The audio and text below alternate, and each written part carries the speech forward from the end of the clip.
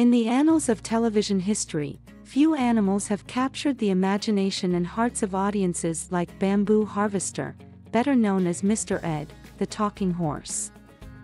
This remarkable Palomino stallion, with his unique ability to speak to his owner and the audience, became an icon of American pop culture in the 1960s through the sitcom Mr. Ed.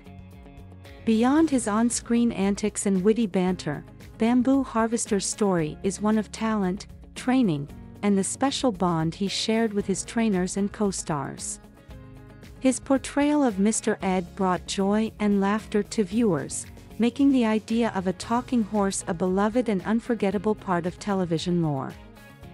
Dive into the tale of Bamboo Harvester, whose legacy as Mr. Ed continues to evoke nostalgia and charm in the story of Hollywood's most famous talking horse.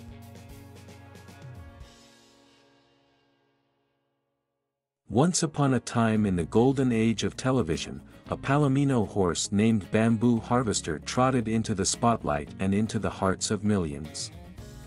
This wasn't just any horse, Bamboo Harvester was set to become Mr. Ed, the talking horse, a character that would etch itself into American pop culture.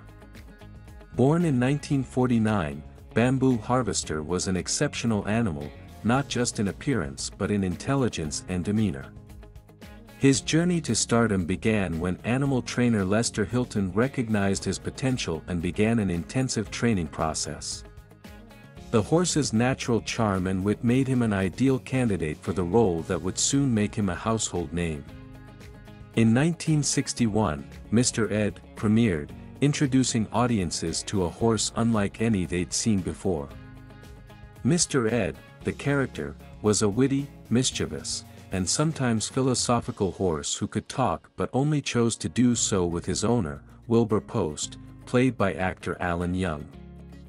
The show was a blend of comedy, heart, and the occasional dash of life's lessons, all delivered by the articulate equine. But how did Bamboo Harvester become the talking Mr. Ed? The secret behind his talking was a piece of nylon thread, which was initially used to induce him to move his lips. The horse soon learned to move his lips on cue without the thread, knowing that a treat would follow. His ability to speak was synchronized with voice actor Alan Rocky Lane's lines, creating a seamless illusion that captivated viewers.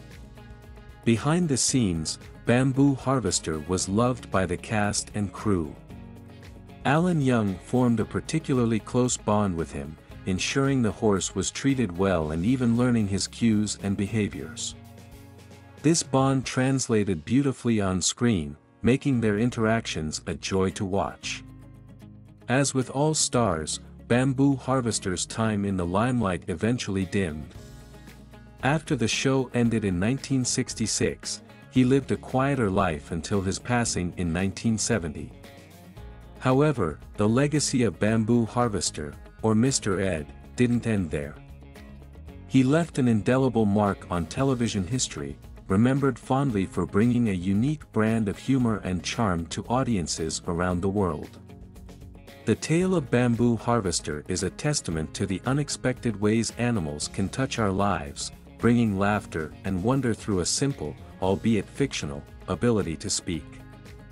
His story remains a delightful chapter in the annals of entertainment, reminding us of the time when a horse could be not just a horse, of course, but a beloved talking companion.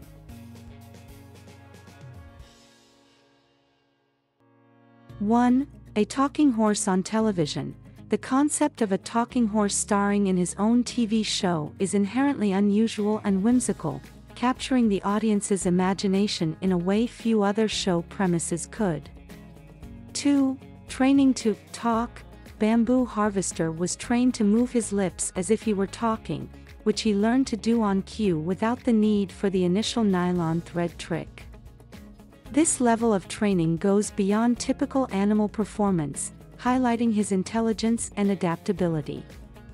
3. Bond with the co-star, the special relationship between Bamboo Harvester and Alan Young, his co-star, added depth to their on-screen interactions.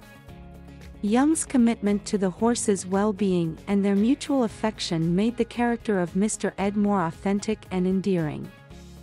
4. Cultural impact. The lasting fame of Mr. Ed as a cultural icon is unusual for an animal actor.